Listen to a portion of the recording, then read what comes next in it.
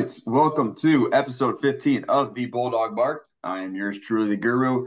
Got a whole cast today. We got Michael D. Rosa, we got Kyle the Butler fan, we got BFC, and we got our good old friends from the Big East Barroom, the brothers Tyler and Ryan. Um, they are, in fact, UConn fans, so they will be giving us a nice little uh, preview of UConn's matchup with Butler tomorrow.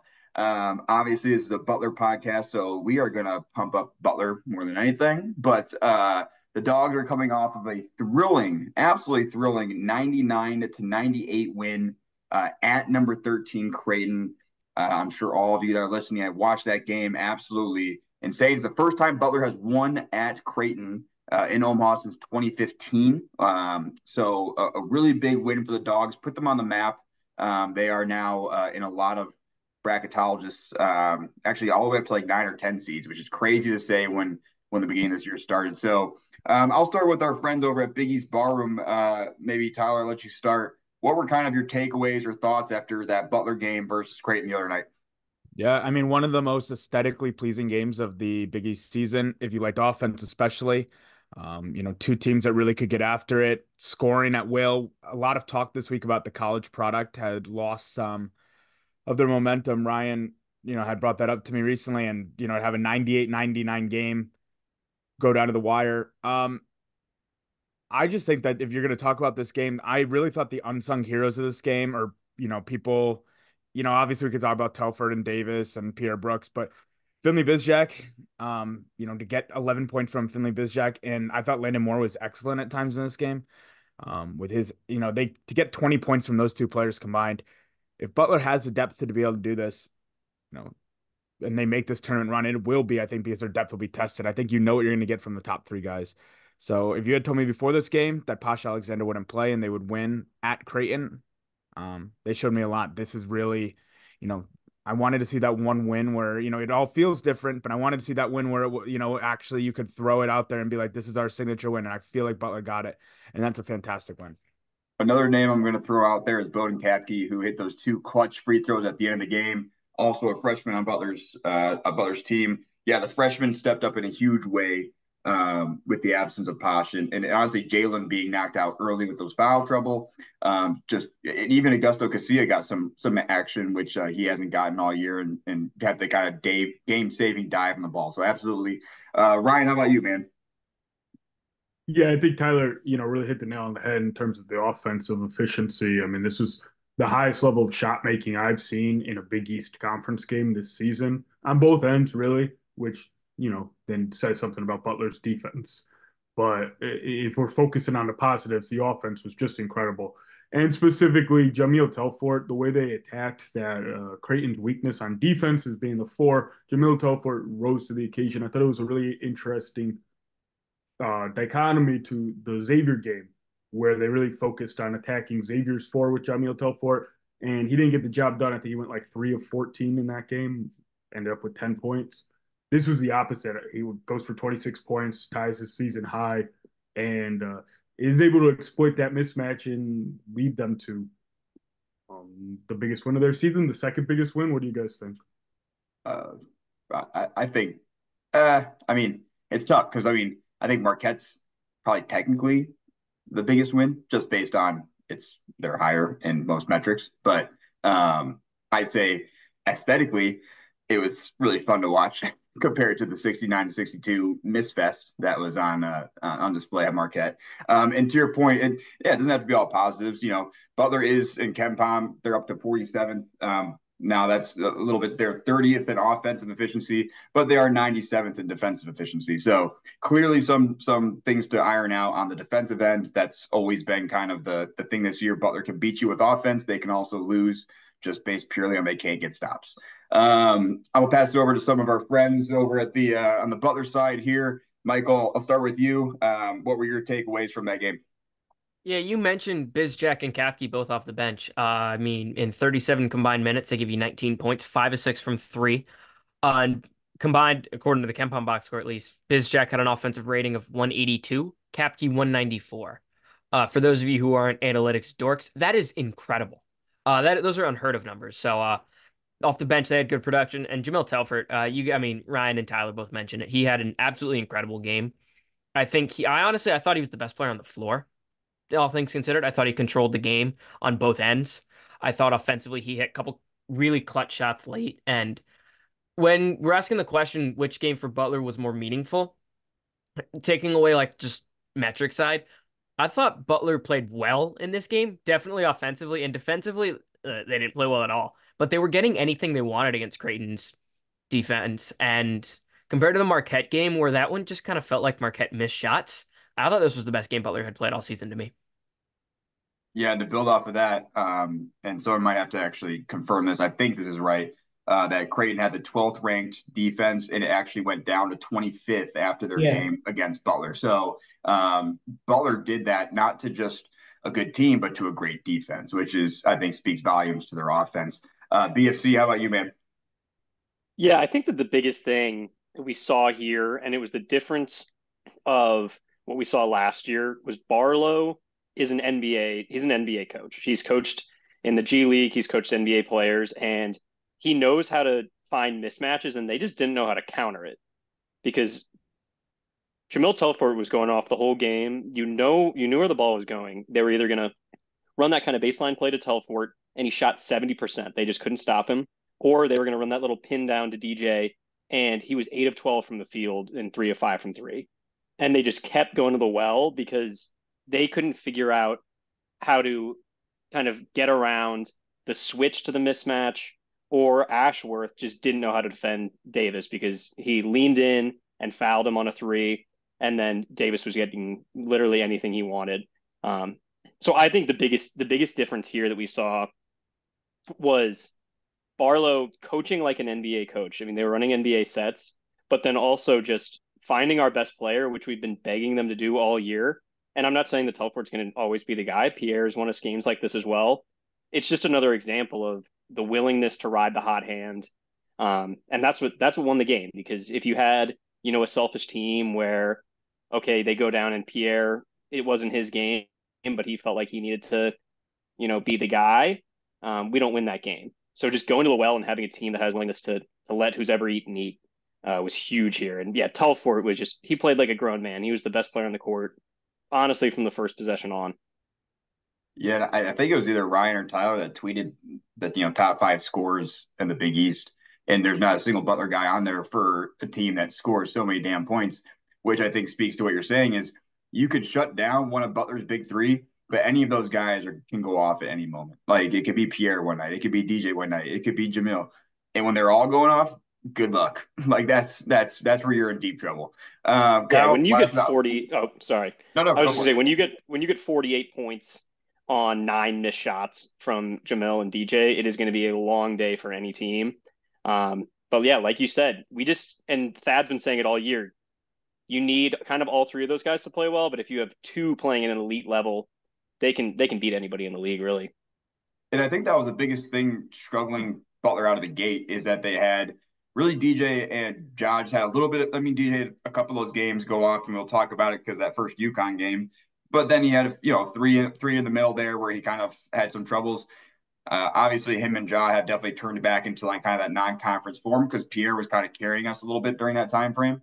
Um, so now, yeah, you have all three of those. It's it's a problem. Kyle, last but not least, what about you, man? Yeah, I mean, I think that something that well, I think it was mentioned uh, as far as that Posh didn't play this game. I, I think that like, listen, I don't think anyone here is going to suggest that Butler um, wins doesn't win that game with Posh Alexander. I think it's interesting to note that that game was 99 to 98 and Posh Alexander didn't play. I mean, there's a there's a real uh, possibility here. I, I, think it's a real thing. I think that that Posh, you know, doesn't he doesn't play. Um, and your offense is ridiculous, best it's been all season.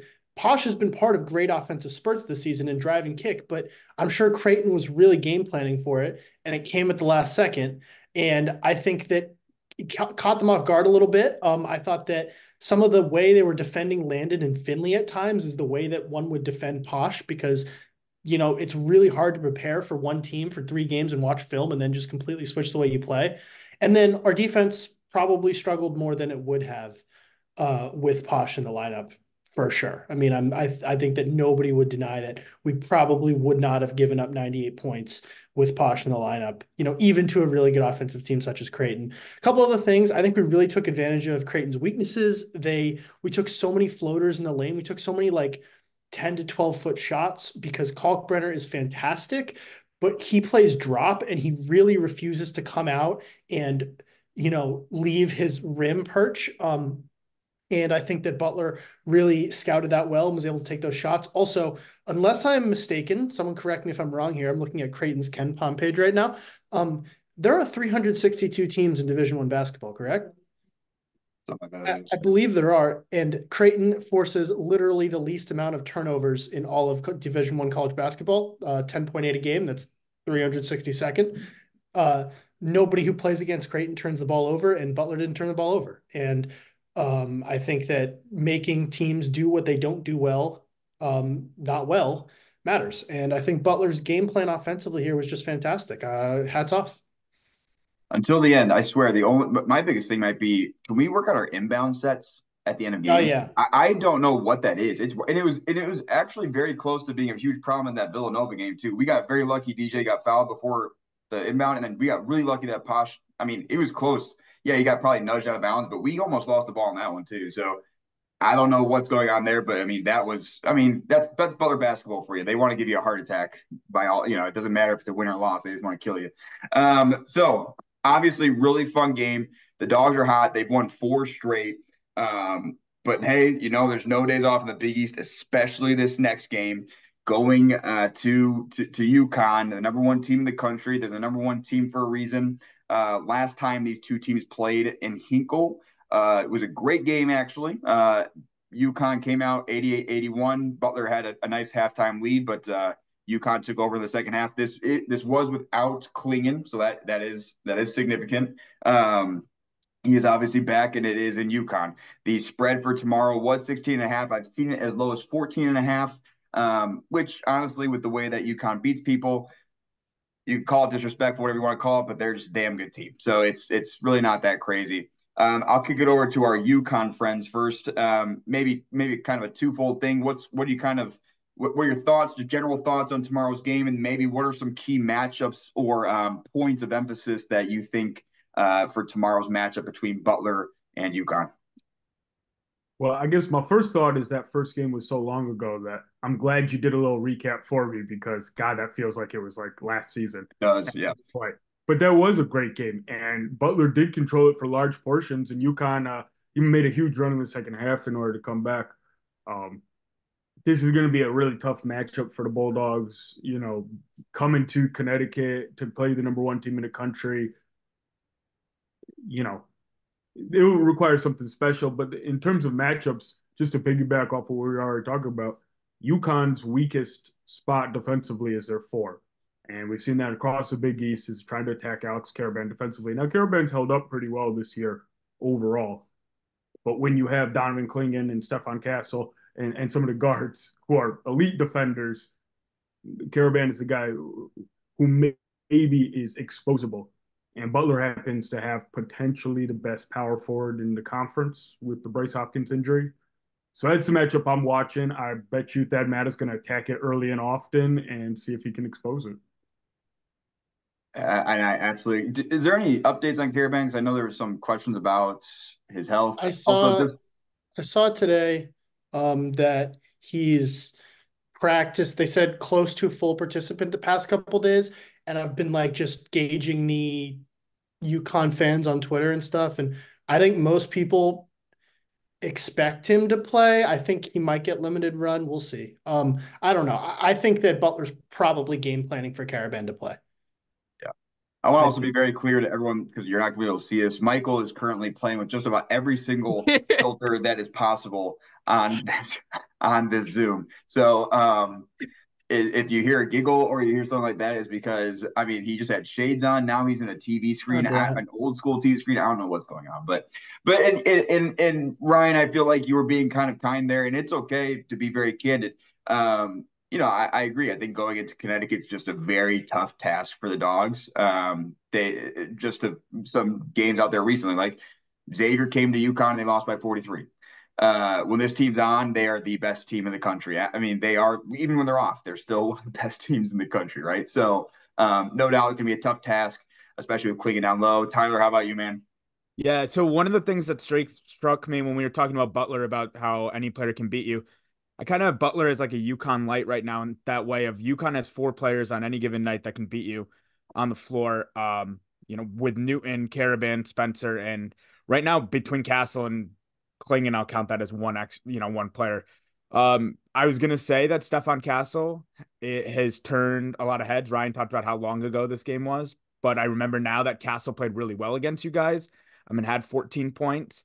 So Stephon Castle has become our best defender at UConn, um, perimeter defender. So I'm interested to see there. Um, I will push back a little bit on Ryan. Yes, Karaban is the one of the worst he's the worst defender on the best team. So I mean, he's won a national championship while being a starter, and he's off to a 19 and 2 record while being the starter. So if it was like a huge issue, I'd be like, all right, this is where you're gonna go. Karaban will hold himself accountable, and I think he'll be fine if he's able to play. Um, yeah, the Butler team's gonna need to go out there and they're gonna need to shoot really well. Um, you know, UConn can give up the three sometimes, and that's about it. And hope that Donovan Clingan gets in foul trouble. He gives he's averaging, I think, six uh, fouls in Big East play right now um, per game. You only get five per 40 minutes. I'm sorry. Um, you only get five. So the fact that he is fouling out pretty much of every game um, is a problem right now, and he's not able to see the court. And that's where I think UConn is a huge advantage. I think because Clingan is just a lot bigger than Jalen Thomas. So um, they need to keep him on the court. But if Butler's able to get him out, they have a chance. And, and you're correct with the Castle comment. He was per KenPom, he was the MVP of that game. I do remember he hit a three in that game, and I was so pissed because he, we all know that that's not really his specialty. And I remember he hit one, and I was like, "Yep, it's just his day. Like we're not stopping that." I think I believe they scored like 52 points in the second half or something like that. Something's ridiculous. Um, so Butler is going to have to iron out whatever they saw in the second half because, like I said earlier, Butler can definitely beat you offensively. They can. Like they, that's what Butler does. They score points oh boy, some you know that defense. oh boy, sometimes right. It's like okay, yeah. Even if we score, I mean, I posted something today about their record versus top twenty-five. They're three and two, and you look at the scores of the games that they lost. It was like ninety-one to eighty-six to FAU, and then eighty-eight to eighty-one to UConn. So those are high scoring games, right? So uh, unfortunately, that's that's the reality of the of where they are. But let's let's punt it over to some of our Butler guys. Uh, Michael, I'll start with you. What are your thoughts on tomorrow? Key matchups. What are you looking for? Yeah, I think the Karaban matchup actually matters quite a bit because in the second half of the last game, when Butler was actually had success in the first half, UConn ran a lot of Karaban at the five, and Butler had no match. So uh, if he's healthy, I think he is a severe matchup problem, especially with Clingan on the floor because Butler.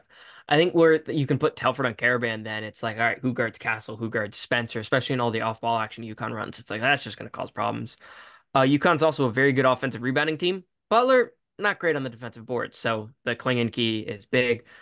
Uh this is also a bad spot game for Butler. Just you're coming off of an emotional win in Omaha. You know, I gotta go to wherever the hell UConn plays. One of the seven UConn home gyms. Hartford, Connecticut. It's literally the capital, but so, I guess yeah, is this one in Hartford or is this one in Storrs or is this one in Trumbull, Westport, or South? Shout out Frank in General. Could be Madison Square Garden or the Big East. You know, you never know. Yeah. Uh, I'll. Though that said, I, I am. I just hope Butler does enough to like not kill their metrics in this one. Um, you can, yeah. Uh, I'm fiddling with the things to like make myself smile because I think Butler's just gonna. I think this one could get ugly, fellas. I'm not gonna lie. Uh, I don't totally disagree. Talking about that defense too. Uh, a couple other things. Davis lit up the court. Like DJ was killing it in the first half, but it was pretty evident what UConn's plan was, right? They were like, we're going to go after DJ because they have a size advantage. It is what it is. I mean, he was he he was targeted. So uh, I think that got in his head a little bit, maybe the second half, and um, unfortunately didn't have quite the same results. Um, uh, BFC, what about you, man? What are your what are your thoughts for tomorrow, and then uh, key matchups or, or points of emphasis? Yeah, I think the biggest thing, and we saw it, uh, like you said, in the second half um, of the last game. Hurley's just, he, I mean, he's a great coach, as we know, national championship coach. DJ Davis was having his way with with Cam Spencer um, offensively in the first half. I mean, he was ex- he was honestly exposing him that entire half, and then they just he made just kind of subtle adjustments like you said, to kind of attack him on on defense, and then they switched Castle onto him, and Castle's length really kind of threw him off. Um, so I'm really wondering. I think this is going to be a pretty phenomenal coaching matchup, just because both these guys have now seen a competitive game um, against one another. I know that Thad respects the hell out of UConn. He was on the Dakich today and was talking about how UConn just makes every play they need to make. And we saw it. I mean, 45 seconds really determined that that first matchup where they went on a 7-0 run in 45 seconds and it went from Butler up 6 to down 1 and then we never we never saw the lead again. Now if if we have that again and we somehow are up and a 7-0 uh, run decides it, I'm I'm a happy camper. Um, but I think we're going to see a lot of adjustments in this one. I think it's going to be I think it's going to be a coaching battle just because the the Clingan matchup is going to be a problem. I think that Telfort really has to get into his body and get him into foul trouble. but other than that, I think you know that DJ matchup interests me. Uh, Brooks that that matchup kind of interests me. We're just going to have to get hot, but I think it is going to be an interesting matchup with this being the second test. But obviously, the Clingan addition is is a killer, especially against Butler. Thomas has been has been playing great, um, but Clingan's a, a mismatch for basically anybody in the conference. Yeah, and uh, a couple other stats from the, the Butler side um, in the last game. Davis had 22, Brooks had 19. And remember, this was when Telfort was going through a little bit of his struggle. Um, he had 16. So uh, a, a, more locked in Telfort's obviously huge from an offensive standpoint for us. Uh, Kyle, how about you, man? I mean, yeah, it's just it it's it it, it kind of talks to how highly I feel about UConn when I say that like I just don't really I can see where we stay in this game. I really find it hard to talk myself into believing that we can win this. I would easily I talked myself before the Creighton game, even though I didn't predict us to win. I talked myself into thinking we can win this game. Same with the Marquette game. We won both. Fantastic. We almost didn't win both. But the truth is, is that neither of those games we were projected to win, you know, and for good reason because Creighton and Marquette are great teams. I can't really talk myself or think myself into finding a way to win this game. Just when I think when I use my head, the you I feel like UConn's in a different spot than they were when we played them last time. When we played them last time, UConn was in the spot of they're a really good team, but they had lost to Seton Hall recently. You know, they uh, you know, UNC kept it close against them. They looked really good. They didn't look invincible. Right now they look damn near invincible. They just like I don't know like I mean, I'll say this again, I, this is a Butler pod. You know, I think UConn is just the clear cut number one team in the country right now. Like I watched the Purdue game, Purdue game yesterday, and I really just I think Purdue's fantastic. I think UConn's on a different level, just basketball wise and just the way they run their sets, everything, it's a beauty, beauty, beautiful to watch. For Butler, I think this relies on getting hot, simply making your shots. You have to make, you just have to make shots. And then on top of that, we have to double, we're going to have to double Clingan because, you know, he's just too dynamic in the post. And I think that that's going to present real issues because, you know, you can't even leave Castle nowadays. And I hate sounding so doom and gloom about this, but I just think it's going to be a really tough matchup for us. That being said, you know, this Butler team has surprised us before. I still think it's very possible that we can keep it close. I think 16 and a half is a wild line, you know, even for um even for a team this good. I absolutely think we can cover that. Um, I'm super excited to see the way Butler goes at this because I think this game is more about keeping momentum and positive energy and continuing to play well, really, into a really important homestand that we have.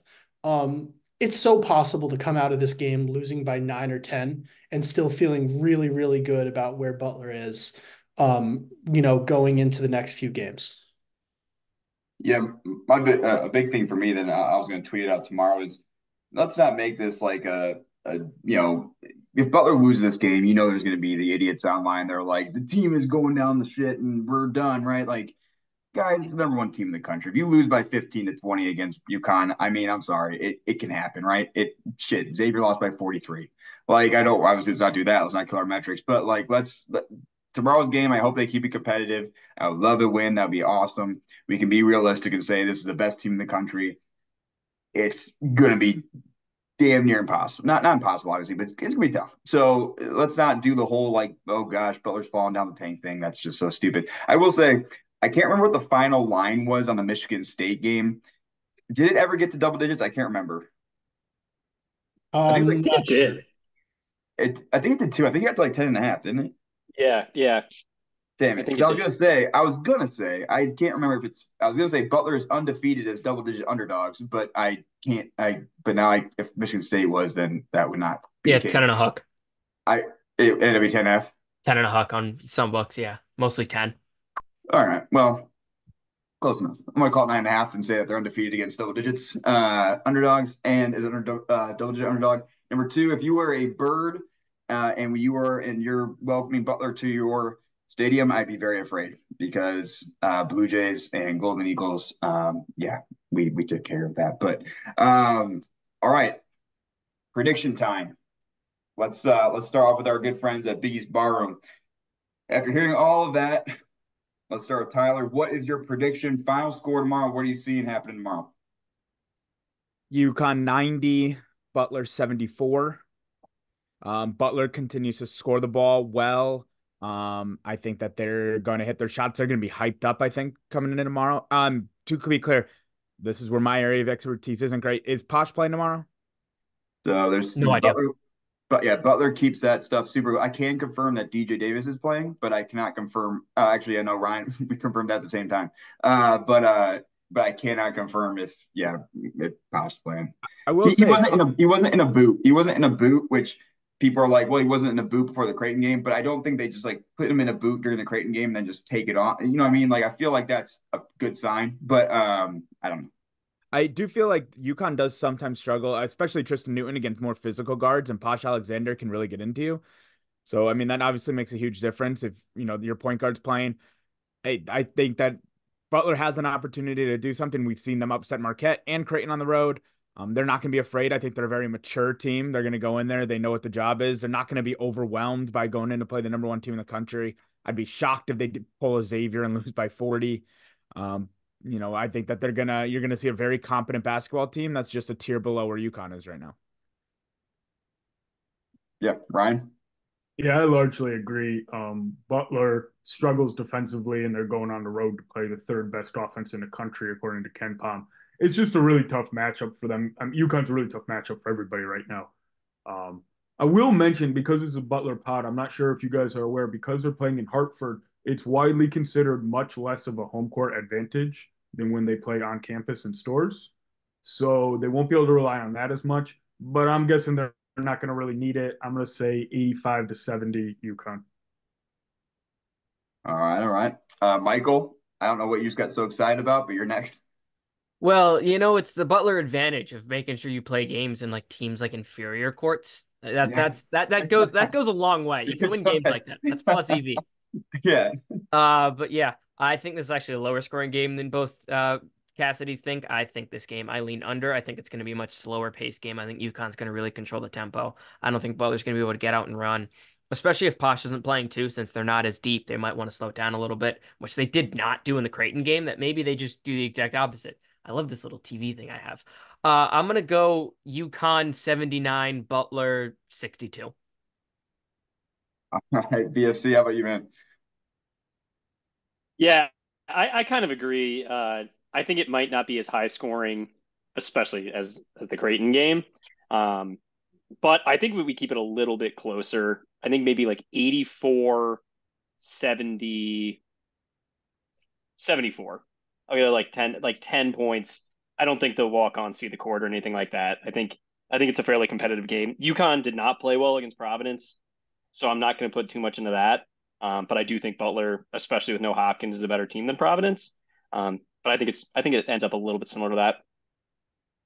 Yeah. Oh, you go. Yeah, I mean, I'll uh I'll say that th- this team's whole mentality has has you know been uh, Butler uh, has been a very very big like not scared of anyone. I agree uh with um with the point that Butler's just not they're not going to play this scared. Uh, they're going to have a game plan. They're going to I think execute. You know, I hate to say as well as anyone against UConn because you know some teams have kept it really close and even Seton Hall. Um, you know, was able to beat them and, and all that. I, I think that that I think that Butler will execute as good as they can against this team. I don't think it's going to be like some sort of. I don't think it's going to look like the Xavier game. I really don't. I don't think Xavier's a terrible team. I think that UConn really overwhelmed them for whatever reason. I think that um, Butler will not embarrass themselves, but I think it'll probably be around the spread. I'll say it's a 15 point game. I'll say 80 to 65. I think Butler probably struggles to score a little bit in this game. Um, but again, I don't think that this is going to be some sort of uh, swamping uh, like the Xavier game. Um, but like like was said, uh, UConn's just on a different tier right now, which is no insult to Butler. Um, so for the guys that have said that we're going to score in the 60s, just an FYI that Butler has only scored in the 60s once his entire Big East season. Um, and it was their it was a win, 69-62 against Marquette. So I don't think we score in the 60s. We score. It's just what Butler does. They they don't like they take a bunch of energy, they put it on offense. It doesn't matter. I mean, they will literally score and then they'll let you walk right down back down the court and score on them. So um, I think it's gonna be a little higher. I think it's gonna be I think UConn scores. I think it's gonna be I'm, I'm kind of similar to Ryan a little bit. I think it's gonna be like maybe like 87, 72, 73, something like that. Um, I think we stay kind of yeah right inside that range of like that 15, 16 mark. I think is where we end up sticking. Uh, I do love the mentality of this team, which is uh, we had that interview with Jalen Thomas early on, and he talked about how um, during the Big East um, media day, you know, uh, Thad looked at him and him and John laughed and said, you know, they picked us. They can't believe they picked us tenth or something like that. Um, the quote was awesome, and and I think that that they really have taken on this underdog mentality. I know Michael says it's a bad game for them. I don't think this team is really. I don't think I think this is a team that's going to be mentally focused on every single game. I just think that they have that under again that underdog mentality. They want it. Um, whether or not the skill level can get you there, obviously, is a different story. But I think that they will be prepared to fight um, just like they have any other game. So, um, so I think we're all riding UConn. That's not that surprising because they're the number one team in the country. So, kind of a given. Um, I did. Um, I want to see if Michael and Tyler, do you have any last things you guys want to say to each other before we log off? Oh, Brian, you got something you want to say? Yeah, I got a question since yeah. I'm here with all my Butler friends. Yeah. Was the Ryan Kalkbrenner play dirty? yes. Yes, it was absolutely. It's dirty. on site. It's on site with Kalkbrenner. I'm. I just. I'm just letting you know that he's. I. I. I like. I've heard the. I don't think it was a like Grayson Allen level thing. I don't think he needed to do it. He could have just hugged the body like everyone else does. He went for the face. It was a dirty play. I will not hear differently. And he's going to hear it at Hinkle in a couple weeks. He's going to hear it. It is a lot harder than you guys seem to think it is that to intentionally poke someone in the eye. It is okay. incredible. I don't think he intentionally poked him in the eye. I think he went for his face. I think he just went for the ball, man. He he's a I, big man with slow reactions. He tried to get a ball over someone who's like twice as fast as he is. I don't. I gotta. I gotta Michael, be honest. Michael, Michael, we're trying to make the environment for the Creighton game good. Come on, man. Oh, my, be, you should you should still be able to yell at Big Softy. That's not that's not a problem. I gotta be honest. I think that yeah, I think uh, I kind of agree with Michael a little bit on this one. I was like, in quick time, it's it's kind of like with, with all that bullshit when it's like roughing the passer. It's like, how the hell are you gonna stop yourself? Like some of those times, it's kind of the same way. Like maybe he should have just hugged him. I think he was. I, DJ did have the ball here in the replays, everyone that slowed it down, it made it look like he went straight for his eyes. I will say this about Kalkbrenner, and and I do watch a bunch of Big East basketball. I've never seen someone that looks so like sad on the court. It's like insane. I I mean, he looks depressed, and it's just weird. Like I, he wasn't going for a free throw, and I was like, why do you think you're gonna cry? It was the weirdest thing. Um, that was one of my. I think the Telfort play was dirtier. Yeah, you're not going to get my benefit of the doubt when you literally did a dirty play on Telfort like 30 seconds earlier. The Telfort play was dirtier. That, Maybe that because he does it. He does it every single every screen he throws is illegal. They could call it every time. Speaking of crying, I almost cried there for a second. Thank God that was not a significant injury because if Telfort went down with an ACL, kiss our season goodbye. Um, and if Trey Alexander doesn't dribble the ball off his foot, it would have been a lot of tears in uh, Indianapolis. Uh, oh, no, we won. We won, man. And, and, I love the way that we intentionally bounced the ball around with the five seconds left. That was really smart of us. Well played. We didn't want to get the ball. Why keep shooting free throws when you can milk the whole clock on a random scramble? I like that a lot better. In, in, uh, in conclusion, in conclusion, suspend Ryan Kalkbrenner for the season. Yeah, totally. I totally agree. That might make him cry. yeah. But uh all right, boys. Well, uh, awesome pod as always. Uh, appreciate Big East Barroom for stopping on with us guys. Um, really looking forward to the game tomorrow. It should be a fun one. Um, I believe the game's at 8:30 tomorrow. For those of you that are listening, 8:30 p.m. Eastern Time, FS1. Um, Butler 15 and 7, 6 and 5 in the Big East, looking for another big win over number one UConn, who I believe is 20 and 2. Uh, and what uh where are they in the Big East now? Nine and one? Nine and one or ten and one. And Just say they're gonna win the Big East because they're gonna. Yeah, yeah, the winners the Big East, basically, right? So, um, anyway, uh, this is a Butler podcast, so I'm sorry to you guys, but uh, go dogs.